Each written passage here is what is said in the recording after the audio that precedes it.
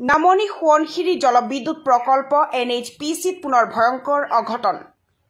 ঠুনুকা পাহাৰ খহি সোৱণশিৰি নদীত পানী আবদ্ধ। শুকুৰবাৰে ৰাতিপুৱা নামনি সোৱণশিৰি জলবিদ্যুৎ প্ৰকল্প এন এইচ পি চিত পুনৰ ভয়ংকৰ অঘটন দেখিবলৈ পোৱা গৈছে। প্ৰাপ্ত খবৰ অনুসৰি বৃহৎ নদী বান্ধ নিৰ্মাণ কৰি থকা প্ৰথমটো টাৰ্নেলৰ সমীপতে থকা ঠুনুকা পাহাৰ খহি সোৱণশিৰি নদীত বাগৰি পৰে ফলত সোৱণশিৰি নদীৰ পানী আবদ্ধ হৈ পৰে।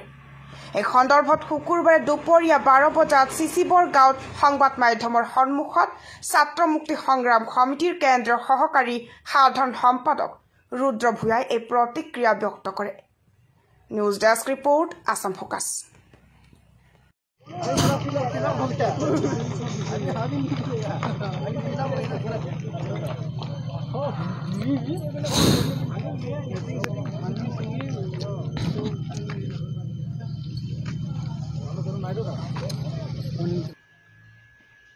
আমি ছাত্ৰমুক্তি সংগ্ৰাম সমিতিয়ে নামনি Subansiri N S P C যি বৃহৎ নদীবান্ধ নিৰ্মাণ কৰি আছে এই নদীবান্ধটো এটা ঠুনুকাৰ শিলৰ ওপৰত নিৰ্মাণ কৰি থকা হৈছে আৰু এই নদীবান্ধটো যিকোনো মুহূৰ্ততে পাহাৰ খহি নামনি অংশত ভয়ংকৰ বিপদ ঘটাব পাৰে বুলি আমি আশংকা কৰি আহিছো আৰু ইয়াৰ বিৰুদ্ধে প্ৰতিবাদ আন্দোলন চৰকাৰক আহ্বান কৰি আহিছো।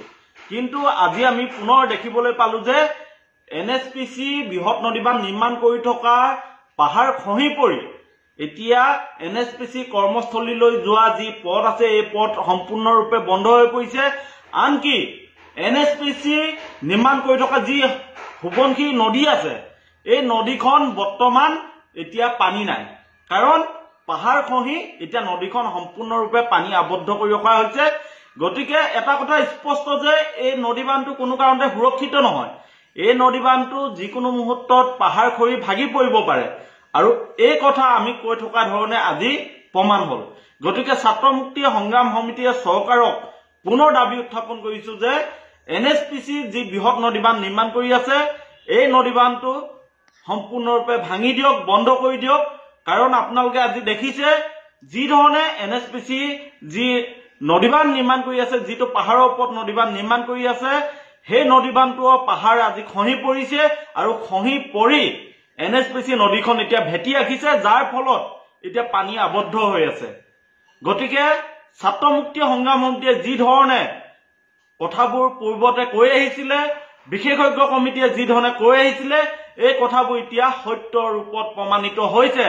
গতিকে আমি চৰকাৰক আহ্বান জনাইছো অনুৰোধ জনাইছো তেখেতলোকে কথাবোৰ ভাবক সময় থাকোতে ভাবক। যিহেতু বৃহৎ নদীবান্ধে এদিন ধেমাজি লখিমপুৰ মাজুলীক অসমৰ মানচিত্ৰৰ পৰা নোহোৱা কৰি পেলাব।